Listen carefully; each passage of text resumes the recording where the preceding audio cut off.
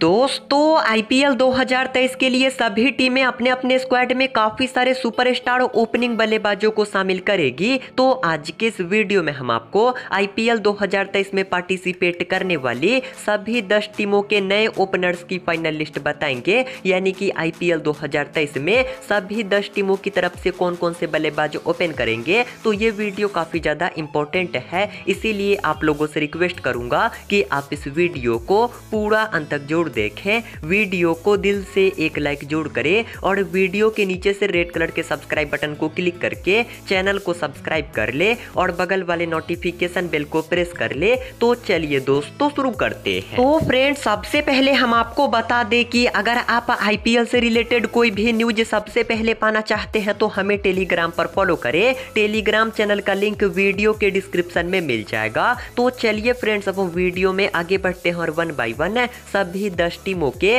नए opening pair की final list बता देते हैं। तो इस लिस्ट की पहली बड़ी टीम है गुजरात टाइटंस की टीम और आईपीएल 2023 में गुजरात टाइटंस की तरफ़ से शुभमन गिल और रिद्धिमान शाह ओपन करेंगे। यानी कि शुरुआत के मैचों में गुजरात की टीम अपने ओपनिंग पेयर में कोई भी बड़ा बदलाव नहीं करेगी। इसके बाद इस लिस्ट की दूसरी बड़ी टीम है लखनऊ सुपर जाइंट की टीम और लखनऊ की टीम भी अपने ओपनिंग पेयर में कोई भी बदलाव नहीं करेगी। जाएगी जहाँ पर शुरुआत के मैचों में कप्तान के राहुल और Quinton de Kock Lucknow super giant की टीम की तरफ़ से ओपन करेंगे और बैकअप के लिए ये टीम ऑक्शन में पॉल स्टर्लिंग जैसे खतरनाक बल्लेबाज को शामिल कर सकती है। इसके बाद ही इस लिस्ट की तीसरी बड़ी टीम है दिल्ली कैपिटल्स की टीम और दिल्ली कैपिटल्स की टीम के पास पहले से शानदार ओपनिंग पेयर है, जहाँ पर डेविड वार्नर और पृथ्वी शॉ के रूप में दिल्ली कैपिटल्स के पास सबसे बेहतरीन ओपनिंग जोड़ी है। तो इस वजह से दिल्ली की टीम भी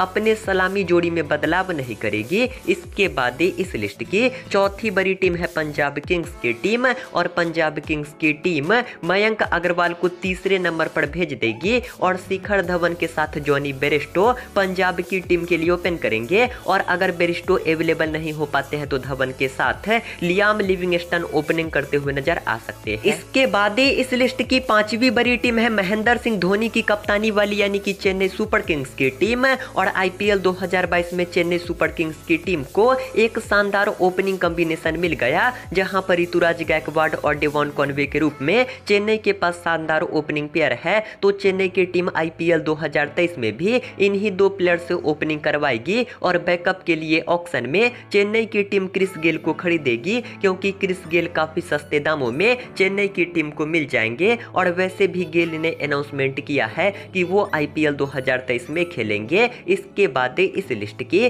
छठवीं बड़ी टीम है मुंबई इंडियंस की टीम और मुंबई इंडियंस के पास कप्तान रोहित शर्मा के रूप में काफ़ी शानदार ओपनर है। तो ऐसे में रोहित शर्मा और ईशान किशन मुंबई इंडियंस की तरफ़ से आईपीएल 2023 के शुरुआत के मैचों में ओपन करेंगे। वहीं ऑक्शन में ये टीम एवन लुइस को बैकअप ओपनर के तौर पर खरीदने का प्रयास करेगी। इसके बाद ही इस लिस्ट की सातवीं बड़ी टीम है कोलकाता नाइट राइडर्स की टीम और कोलकाता नाइट राइडर्स की टीम अपने ओपनिंग पेयर को पूरी तरीके से बदल देगी, क्योंकि कोलकाता अपने स्क्वाड से सैम बिलिंग्स इसके साथ ही यहाँ पर अजिंक्य रहाने और वेंकटेश अय्यर जैसे प्लेयर्स को रिलीज़ कर सकती है। तो इस वजह से कोलकाता का ओपनिंग पेयर पूरी तरीके से बदला बदला नज़र आएगा और कोलकाता टीम की तरफ़ से क्रिसलिन के साथ एलेक्स हिल्स या फिर वेंकटेश अय्यर ओपन करेंगे। और अगर वेंकटेश अय्यर को ये टीम रिटेन करेगी तो क्रिसलिन और वेंकटेश अय्यर के रूप में कोलकाता का नया ओपनिंग पेयर देखने को मिलेगा। इसके बाद इस लिस्ट की आठवीं बड़ी टीम है रॉयल चैलेंजर्स बेंगलोर की टीम और आरसीबी की टीम ऑक्शन में